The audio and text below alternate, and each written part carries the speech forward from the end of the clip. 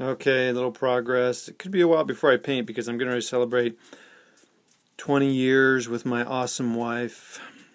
Uh, 20 years of marriage, July 4th. So we'll be, you know, celebrating.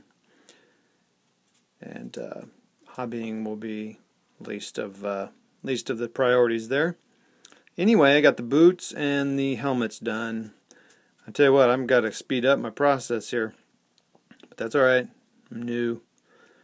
I will not um, put them on a board like this again. And here's my non-primered guy.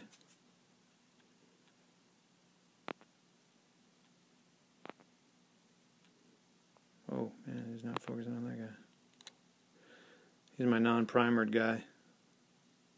You can tell. Just want to see what it looked like.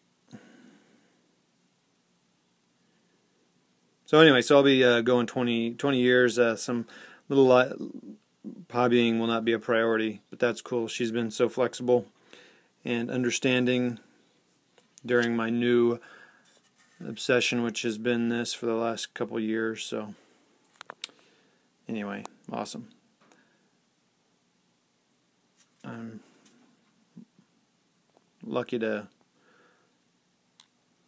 no doing on my part. I was like Adam, fell asleep, bam, there she was.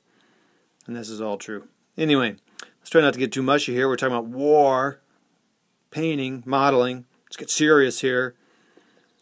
Anyway, so there you go, a little bit of progress. So next will be all the knapsacks and the the uh, wood. I'll do that. I'll try to do that tomorrow before we, you know, kind of start celebrating. And it's the 4th of July and all that, so guess I have to be social, brother. Okay, that's two minutes. That's long enough. See ya.